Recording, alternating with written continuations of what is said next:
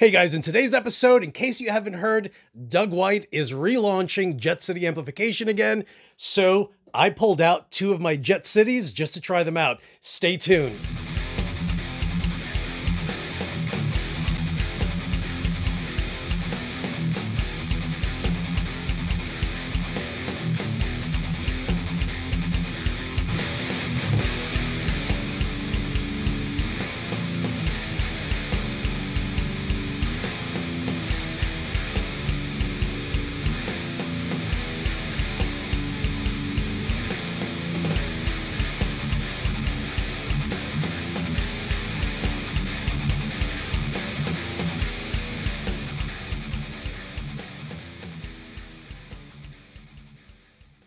What is up, you guys? It's your boy Louis Torres. And if you haven't heard over the last few months, uh, apparently these rumors of Jet City amplification making a comeback are true. And I know that because I was talking to Doug White this morning.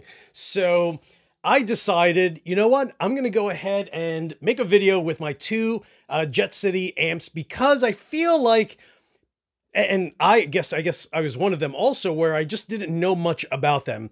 Um, it was one of those things where it was just like you know they look like great amps. Uh, they're not made in the U.S., but are there any complaints? And there weren't. They eventually ended up changing the Tolex to like a blue Tolex. That's kind of where I was just like, ah, maybe I won't, you know, buy one of them uh, just because I didn't like the blue Tolex that it had. But then this guy came up on the market locally uh, and this one actually has, it's a modded uh, Jet City, and this one includes the SLO mod along with the negative feedback, and those are in the back. So, uh, and then this one down here is my buddy Chad from Michigan. He was looking to switch things around as far as gears go, as far as his gear goes, and he just asked me like, "Hey, do you want this?" Um, this head and it started out that he wanted to know if I knew anyone that was interested in it. Uh, and then I was just like, dude, I'll get it. I'll buy it from you uh, and love it. So the two differences is that uh, this one is made by Mike Soldano and this one is made by who? Mm, I forgot the guy's name. Nick. Um, Nick. Uh, so this one is more, I guess, of a of a of an American tone. Uh, that's just a little more brutal. Do I dare say that? And this one is more of a British feel, but I'm actually running my Fortin, my new Fortin, actually my new Maxon Fortin modded uh, overdrive, which is the OD9 variant, and they both sound absolutely ridiculous. I'm going to be using my 1991 ESP M2 Custom. This one actually has the uh, Seymour Duncan Nazgul in the bridge. And uh, let's have a listen. I'm going to start off with the Mike Soldano uh, designed version of the Jet City. And then it's going to be, then I'm going to move over to the bottom one. So let's have a listen. Do, do, do, do, do, do, do, do.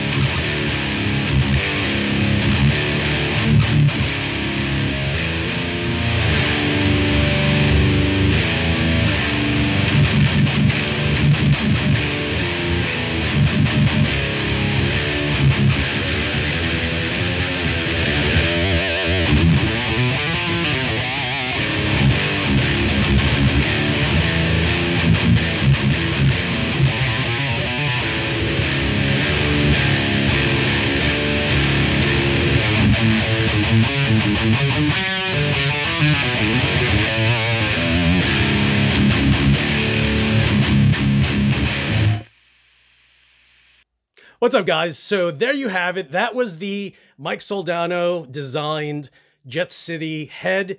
Uh, and this one, I know someone's going to sit back and say, hey, Dingbat, you actually have the mod in the back. Uh, I actually had, there's two dials and I dialed them down to zero. Because I'm going to be comparing it against this one, I actually wanted the top version to sound uh, exactly the way it does, um, just stock. So uh, again, the two dials in the back uh, were set to zero. So what you really heard was the amp. But again, keep in mind that it is powered by my Maxon Fortin OD9 uh, overdrive pedal that just got just came in the mail the other day, uh, and it sounds brutal with it. Um, it sounds great with any overdrive that I that I actually put this against. So now we're gonna go with this one, and I know I kept saying Nick, right? But it's actually Kidd. I forgot the guy's first name, but I know it's Kidd because it's a basketball player named Jason Kidd. Um, so this one, same thing. Uh, I just have my Maxon Fortin OD9 uh, plugged into it, and hopefully you guys can hear what that sounds like. And then keep in mind they're both 20 watt amps, so you know they're great for playing at home. Um, if you're powering the if you're powering a 412 cabinet, the tw- these will absolutely sound incredible. It's super loud. Um, if you're gonna go and play live, eh, um, I would probably go as far as to say that you can go ahead and anticipate that there won't be much sound hitting everyone in the front.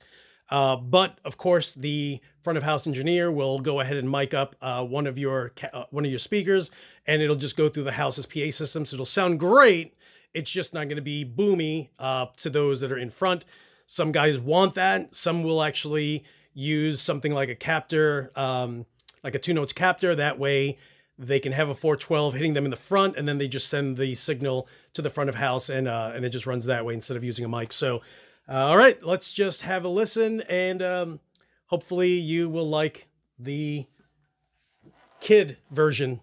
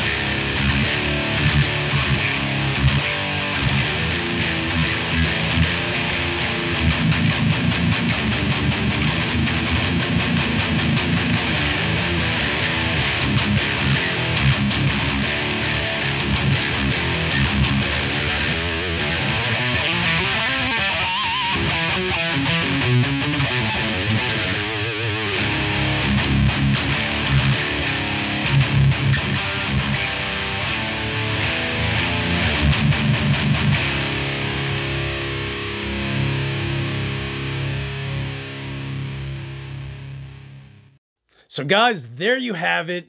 These two I am super glad I actually have uh, because, you know, again, I always, I never just, I just never knew how good Jet City amps were uh, until this one landed on my lap and then this one followed soon after. Uh, and then the great thing is the fact that the owner, Doug White, um, actually has a relaunch of these amps uh, and you can go to their website, which is uh, jetcitycustom.com. And here's the best part is that unlike the old models where you basically bought whatever was available and that's it, you can actually customize it now. So you can have uh, different tubes in there. You can have uh, different components on the inside. You can have it so it's a white Tolex with a black um, chassis, you can have it reversed. So it's white with a uh, black with a white chassis. So there's a few options that are on there, and I think they're great. Uh, and again, I can't stress that if it weren't for the fact that I own these two, I'd be up in the air. I wouldn't know, you know, if they were good or not. Um, but these are literally some of my favorite amps that I've ever had. Um, and I don't know. I think, you know, they're 20 watts, but they don't sound it, which is crazy. Um, and if I, you know, crank it to half power, um, and bring the volume to five, like, dude, it's, it's definitely way too loud. So, you know, for the most part, when I'm recording, I try to keep it between 65 and 70 dB. Um, these heads at five are already at about 85 dB. So it's loud. Like I'm telling you that if you were to play a small venue, uh, you wouldn't need anything other than one of these amps, uh, or better yet, uh, one of the newer amps that Doug is making. So uh, I will, in the description, leave the link to Jet City's new website. Check that out. Uh, they actually are doing a pre-order now uh, for those amps. They start at 499 and they are going to, you know, depending on the modification, they go higher than that, you know, over 700, close to 800.